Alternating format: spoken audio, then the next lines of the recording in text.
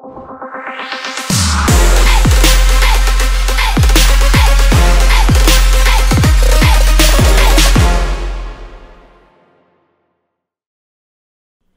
back to the channel, Bears fan. My name is Dan Durkin and this is the All 22 review. If this is your first time to the channel, welcome. I hope you like what you see and you take a moment to like and subscribe. And to all my existing subscribers, I truly thank you for the support and engagement. Training camp is here. Uh, the season's right around the corner, so it's a really exciting time for football fans everywhere. Given the performance of the offensive line in 2022, Bears general manager Ryan Poles prioritized improving this group both in free agency and the draft. Uh, before he used his first round pick on offensive tackle Darnell Wright, Poles acquired right guard Nate Davis on a three-year contract worth $30 million and $19.5 million guaranteed. Davis was drafted out of Charlotte uh, by the Tennessee Titans in the third round of the 2019 draft. At Charlotte, he lined up at right guard and right tackle, but he's played every snap, about 3,000 of them in the NFL at right guard. Davis became a starter early in his rookie season. He'll turn 27 in September, so Poles acquired a durable starter on a shorter term contract. So from my perspective, it's a good deal for both sides. For this particular video, I watched the Texans and Chiefs game, and I got a really good feel for who Davis is as a player. You'll see it on the film as I walk you through it, but what immediately stood out to me about Davis was his ability to bend. He's a natural knee bender who stays low out of his stance. He's got quick feet, which will definitely benefit him in the Bears' outside zone run scheme, and it helps him mirror and pass protection. And when he latches on, he has strong hands at the point of attack. He has some habits that show up on film that he needs to clean up. Every player does. There's no perfect player in the NFL. Sometimes Davis tends to lead with his head. Uh, he can get off balance when he's engaged, and he gets overpowered at times in the middle. But as a whole, he's a big addition to a group that desperately needed a talent injection. So let's get into the tape. All right, let's get into the tape here. Here's Davis at right guard. As I mentioned, that's where he takes all of his snaps. It'll be easier for me to distinguish him from the tight copy. We're looking at the wide copy right now. This uh, first sequence here is going to come from the game against the Titans. Um, you're going to see a mix of, you know, pass protection, run blocking, and just some commentary that I have on the top of it. This first snap is a pass pro uh, rep from Davis. I like how on this particular one, um, he takes two. So he's going to help with the right tackle, then he's going to pick up the right guard. Um, he stones both of them and he really loses no ground. So let's just go ahead and let, get, let it run here. So help the right guard, excuse me, the right tackle latch on there. And then he moves on to the linebacker that's flowing down. You get a good, good view of it here. So again, Davis right here at right guard clear that off. Uh, you have to deal with a lot of uh, Malik Willis throughout this performance. It's it's a tough watch, but again, I'm focusing on the right guard, not the quarterback. I can see why the Titans drafted another quarterback this past fall. Is all I'll say about the performance of Malik Willis. So there, secure latch immediately, easily flows over there to pick up the late linebacker. Love the recognition, eyes up field. All right, another pass pro rep here. In this instance, you're going to see a mug look. So you're going to see a linebacker walked up into the A gap. So here's the linebacker that I'm talking about. He's walked up into the A gap. Remember, A gap is the guard, bet- er, the, the gap between the outside shoulder of the center and the guard. So this is the A gap that he's walked up into. So he is Davis's responsibility. So a smaller, quicker guy matched up against him, but I really like um, this clip to give you an idea of what he is as a mover laterally. The ease with which he's able to stay with a faster linebacker and just mirror his movement, really impressive. Quick feet, punch, stay back. Like I understand that the, the linebacker's kind of spying here a little bit as well, but this is a great, great rep to give you an idea of just how easy of a mover Davis is. Talked about a bender, nice low bend, mirror, mirror, gave up no ground that entire rep. Re- really good look there to get an idea of what he's like as a mover here. All right, so now we're going to get a chance to see him do some run blocking here. Um, we talked about at the beginning the match that he is for the outside zone scheme that the Bears want to run. I love the athletic profile that he brings to the table here. He's a really easy mover to the second level. You will see some clips of him, you know, getting not able to get all the way to the second level, but there are many more clips like this one that I'm about to show you here. Watch him flow out from this position to, to snatch the, the, the second level uh, backer, cuts him off. Nice strike at the point of attack as well and drives him out of the way. So latch drives out of the way, finishes all the way to the snap. Love that rep. You'll, you'll see it here again. Easy flow to the second level. He's going to take on Kirksey.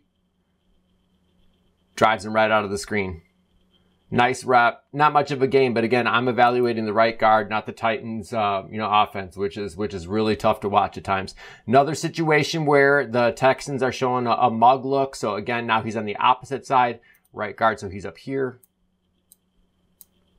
You got that linebacker mugging the A gap again right here. But again, perfect example for how easy he moves. Let this one play.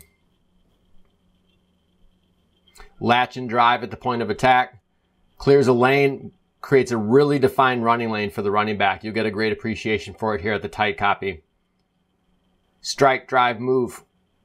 Looking back, so mugging the A gap, gets right on him, the running back actually read his block twice. He was originally thinking about going off his right hip, but Davis kept securing. They gave him a chance to, to cut back to the left. Nice little gain there up the middle. Another uh, second level cutoff of a linebacker. We talk about that ability to flow to the second level. Davis is a good mover. He, he can he can get up there, and so here he is right here. I'm bringing these out because this, these are the types of asks that the Bears have of their offensive line in this particular scheme that they run. They need these guys to be able to easily flow to the second level, match linebackers, and, and get on those blocks. So that's a lot. That's a big ask uh, of the guard there. So he's flowing from the right side to block a linebacker pursuing to the left. So you see Davis there, 64. He's going to flow to his left. Cut off, secure. Granted, Henry got caught from behind there, but if uh, he's able to take that extra step, that could have been a, a longer gain simply because Davis did secure at that second level that linebacker, so he would he had some green grass to run off of that. Uh, this this is another example. Talked about low pad level, easy bender. Low man wins in, in many situations at the offensive line. It's a leverage battle. So he I want you to pay attention to how low he fires out of his stance on this. And he's able to win the leverage battle against the guy lined up heads up. So we're talking about this matchup right here, head to head right here. He is the low man in this instance, and he's going to win the leverage battle. And you're going to see it right here. Let this play. Low man wins, moves enough for Henry to be able to, you know, kind of sneak his way there. You'll get an appreciation for it here as well. Low man wins at the point of attack. Move, move, move. He creates that gap for Henry to jump back into and get up the field. All right, we're going to get an inside zone look here from, from Davis. Again, he's got a guy matched up head up on him, inside zone. I like the strike of his hands and then the drive on this as well. He creates a really defined running lane for Derrick Henry, who's just outstanding, who takes this one to the house. So let, let's just let this one roll. You'll see what I'm talking about, both from the wide and the tight copy. Strike, drive. Henry cuts immediately off of that gap that Davis makes. So he cuts off of his right hip. It's the drive that allows him to make that cut, and then it's just the Derrick Henry show from here. You'll see it on the tight copy. A little bit of a stalemate here, but he wins on this drive. He's going to really strain right there. That's all Derrick Henry needed. Whew, and he puts a move on that safety in the middle of the field. It's touchdown time. Davis made that play possible. Obviously, Derrick Henry took it from there, but uh, excellent block by, by Davis on this. So we just saw a little inside zone action. You're going to get a G lead. So the guard is actually going to be the lead. Davis is going to be the lead blocker on this play. He gets a great kick out on the defensive end. Just to point him out here, he is right here. Watch him lead out in front on this play. Love the athleticism and I just love the power point of attack. Here comes that G lead. Boom. Again, Create defined running lanes for the running back. Running backs are looking for color. They're specifically looking for color to flash from the other team. They're going to run in the opposite direction. So when you can create that defined lane to say safe to run this way, that's exactly what Davis does in that play to, to seal that defensive end off. More athleticism to the second level. So important and such such an ask within the Bears' current blocking scheme. Something he's going to be asked to do a lot of. Does it really well here on this play. That's why I keep singling out these, how smoothly he climbs to the second level, which is really essential for success in the Bears' offensive scheme. Going to get to that second level flow, cut off, drive, stays with the block all the way to the whistle. Really like that play. Easy flow, and then he maintains that latch the entire way. He's going to block 48, the linebacker to the left, as you're looking at the weak side backer. Guy, no chance to make that play. Davis was on it from start to finish.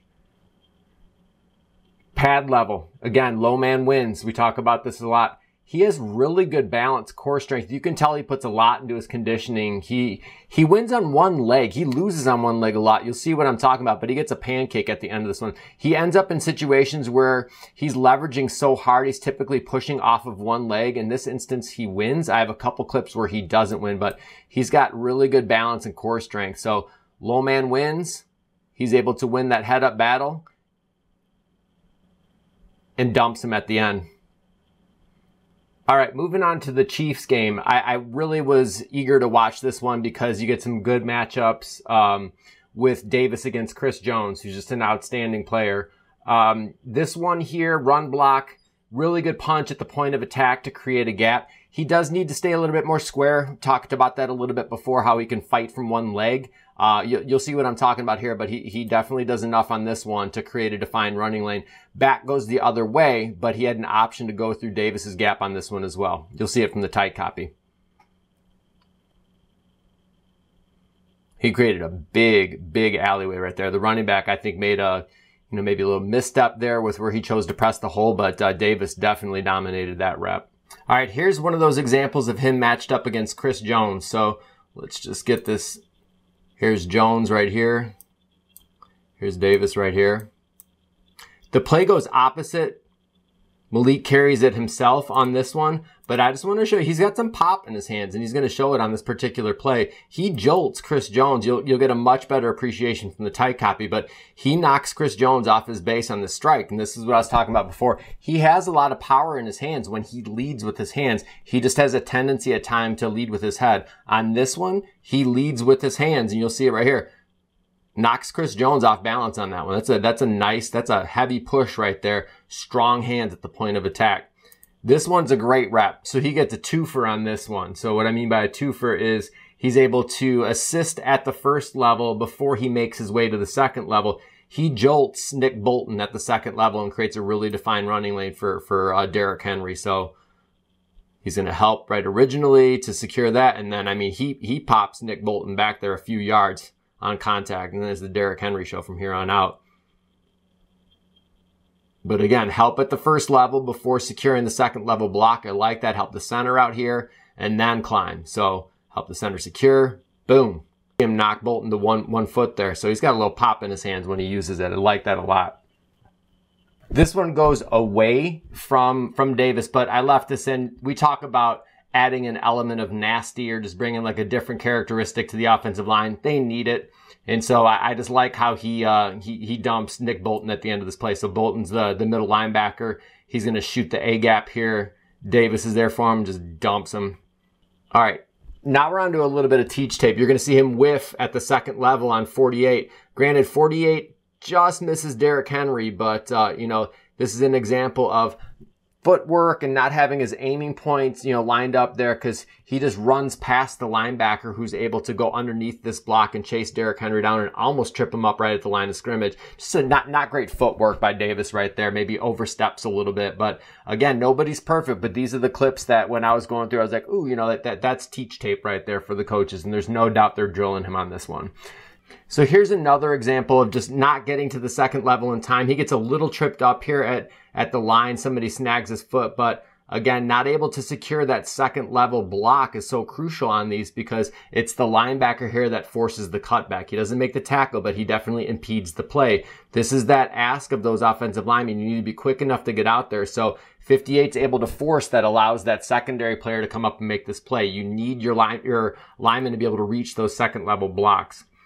This one right here is an example of where I think he gets overpowered. This is something that, that, that came up in, in uh, several reps when I saw him matched up against. This is a nose tackle across, so he's given up some weight here and some strength to get in. He definitely struggles against guys who are bigger and more powerful heads up against him. You'll see what I'm talking about here, but he gets dispatched pretty quickly here by this, this nose tackle. He loses some, some speed. He gets, or, I'm sorry, he loses some strength battle, so he gets overpowered really easily on this play.